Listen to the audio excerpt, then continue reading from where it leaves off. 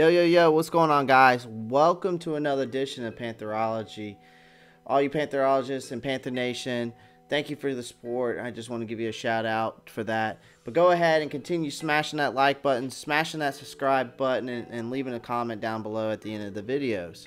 So, without further ado, let's dive in right into it. The Panthers, once again, are starting to see season off 0 1. A loss at home with the team's best corner suffering an ankle injury in front of the stadium of empty Carolina Blue seats. But throughout the season, the Panthers are going to be worth watching for from for far more than the final outcome or a couple of statistical notes. This is a building team for the future, and I think everybody needs to understand that. And I think throughout 2020, we are going to get better. And we're going to get a better sense of what that future looks like. The loss to the Raiders was an up and down affair that included the Panthers almost pulling off a dramatic come from behind win. So, what did we learn from this past Sunday's loss to the Raiders? Well, the fact is is that the Panthers have had a lot of growing to do, and they still do. And that defense will likely continue to be that area that will continue to develop for some time. But I think there's some other areas that stood out to me that I'd like to share with you. So Panthers, as we know, fought their way back into this game. The third quarter was very ugly for the Panthers. They had zero points and 10 were given up. The two drives that occurred slowly during the quarter were both three and outs. After not having any penalties throughout the first half, they had four for 47 yards, including a taunting penalty, of course, by DJ Moore, which that pissed me off. I, I was like, why? What was the point of that? And it was over an incomplete pass when Lamarcus Joyner's helmet, after he poked Lamarcus Joyner's helmet, after the defensive back had some choice of words with each other, which was stupid. But that penalty took place with nine seconds remaining in the corner, and the Panthers went on to score at the end of the drive on a three yard touchdown by Christian McCaffrey.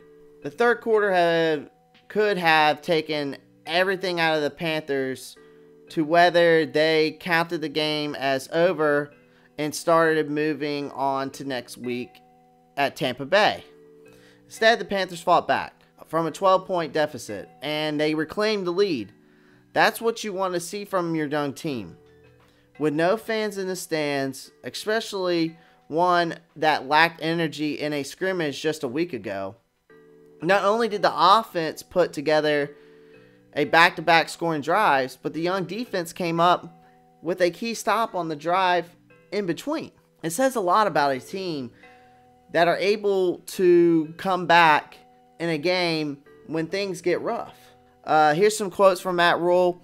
To battle back from some early big plays to fight, scratch, claw, to take the lead back at the end of the game, I was proud of the guys.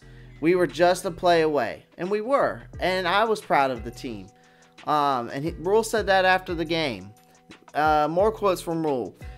We said as a team we would get to the fourth quarter, and we thought we would have a chance to win in the fourth quarter, and we did. I told them we were all disappointed we are all hurting right now, but we need to play some games and find out more about our team and find out how we can improve. So we will improve and we will continue to get better. And I think he's absolutely right. We can't just base off this team off of one game. Now, was were there some coaching th- things that I think that could have been improved on by running the ball on third and four and fourth and inches with Christian McCaffrey? Yes, that should have happened. And that's the coaching staff fault. That's Joe Brady or Matt Rhule's fault. Whoever made that decision. The ball should have been a lot more in, in Christian McCaffrey's hands. Now, granted, I know we're trying to, I feel like, get the ball away from him so there's not so much pressure on him because we want to keep him there for a long time. But I understand when it comes down to the that end of the game, we really need to use him because he's our star one takeaway from from a coaching perspective at the end of the game, the Panthers, like I said, allowed far too much time to bleed off the clock on that final drive. They got the ball on their 30 own 30 yard line with over four minutes remaining and went slowly with just three plays before the two minute warning. even if they had converted the final Alex Armah run, they would have been less than a minute and 20 minute remaining with two timeouts and that half of the field to go to score a touchdown. So that that ending was just not good coaching, not good play calling. Jeremy Chinn with a nice had a nice debut. Uh, the Panthers started their three rookies on defense. Cornerback Troy Pride with um, missed a couple of plays, and then defensive end Yetur Gross-Matos was not very effective when he was uh, when he was on the field. Yetur Gross-Matos only finished with one tackle, and he only played 25% of the defensive snaps with St- Stephen Weatherly starting despite a hamstring injury. Um, defensive tackle and first round pick Derrick Brown had a fine game in my opinion. He finished with three tackles. Um, the team's only tackle for a loss and a pa- and a pass deflected. But the Panthers struggled to create pressure, especially on the interior part of the line. Um, especially when the Raiders were losing multiple offensive linemen to injury, the Panthers did not have a single sack in that game. For the first time since week two of 2018, they didn't aid a Panther secondary that was without cornerback Donte Johnson Jackson uh, for most of the game. Uh, more quotes from Rhule. I think there were a bunch of plays where he was a step away from making a bigger play. Those guys will get better and better and better. I thought our tackling at times, a lot of reaching, a lot of grabbing.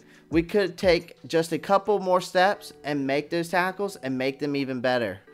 Uh, Rhule said also, I hope and expect we will have some radical jumps on defense as we tackle better.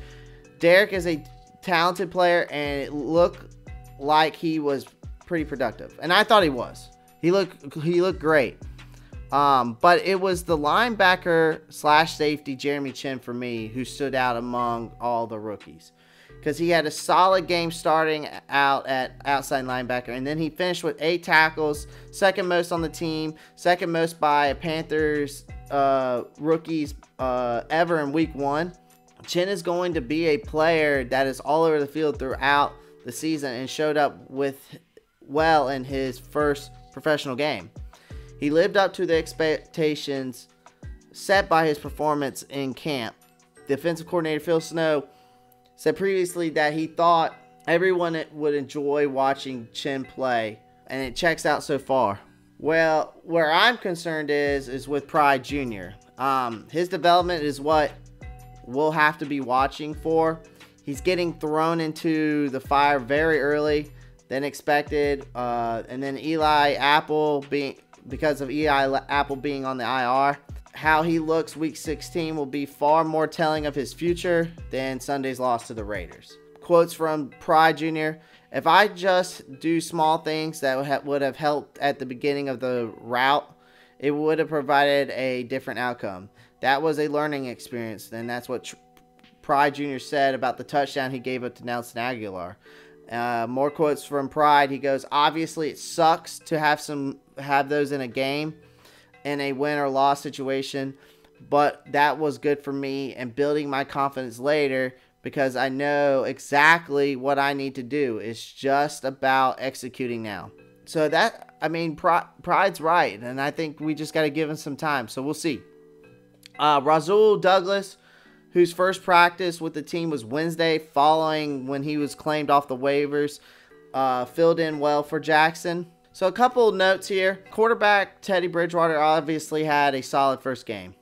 He didn't have any major mistakes, although he did take responsibility for one sack. He finished the game though 22 for 34. He had 270 yards and one touchdown. He had a very nice play with Robbie Anderson for a 75 yard strike. Was also the second leading rusher which he finished with four carries and 26 yards. I felt like he moved the offense up the field multiple times, and it showed that his communication with offensive coordinator Joe Brady was even better than I expected. Improving the third down efficiency will be a priority because he we were only 7 of 13 versus the Raiders. McCaffrey was only targeted four times as a receiver, which was a big surprise for me, but he had a total of 26 touches slightly above average than last year. He was on the field for all but two offensive snaps. He'll likely be more involved in the passing game going forward, hopefully, because we, like I said, we got to get the ball in our star, and he's our star. So I, I need to see more of that. Moore needs to play better. He only caught four of, of his nine targets, and he only had 54 yards. And of course, he had that taunting penalty, and he had a couple of, of drops. So he'll need to step up for this offense to really flourish. Like we've got, he's got to catch these passes. The Panthers uh, have ha- have a solid returner, in my opinion, after struggling to find someone who was very consistent in the return game. Last year, uh, we signed Pharoh Cooper uh, this offseason. While he didn't have a touchdown or do anything wild, he was consistently improving the team's field position. He gained an average of 27.3 yards on the kickoff and 14.5 on the punts. Like I said, smash that like button, smash the subscribe button, uh, leave a comment down below. Let me know what you think. Give me your feels on this loss this past Sunday. Guys, we're gonna get better. Just keep watching. It's it's gonna take time with the, with the whole new coaching staff, new quarterback. So just give it some time. Let these rookies develop, and then hopefully everything will come together um, I'm hoping before week 16. I'm hoping by week six, week seven, maybe week eight would be nice. Um, obvi- I hope we can get some even wins before that too.